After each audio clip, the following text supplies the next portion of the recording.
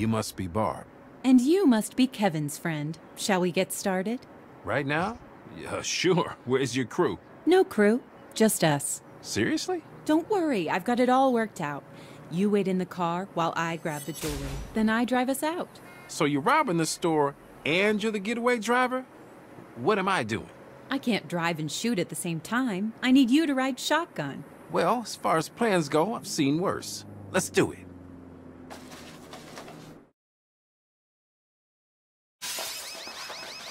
I got you covered. Let's go.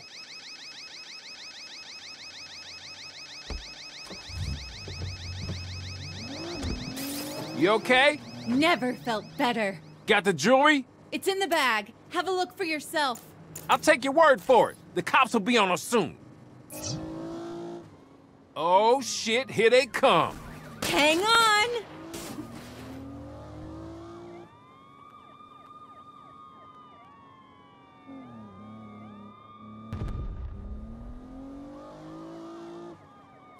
Sorry, that was my fault. What the fuck is wrong with you?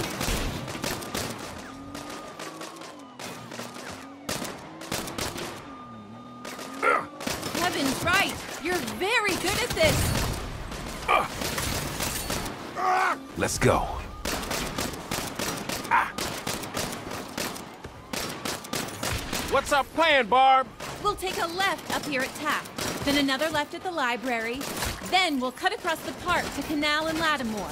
But that puts us right back where we started. I know. I took a wrong turn at the 78, so we have to come back around. The 78? What are you talking about? I got excited. I went right instead of left. Barb, when the plan goes to shit, just improvise. That's what I'm doing.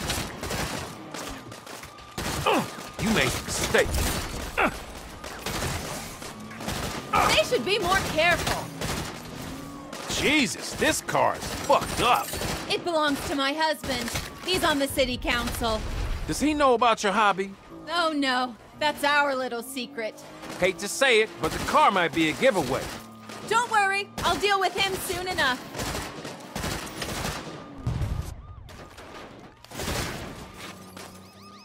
That'll shut him up. These officers better not recognize me.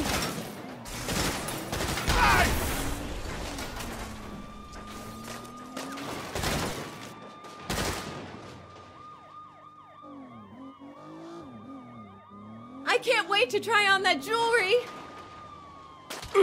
You're done. You hear me?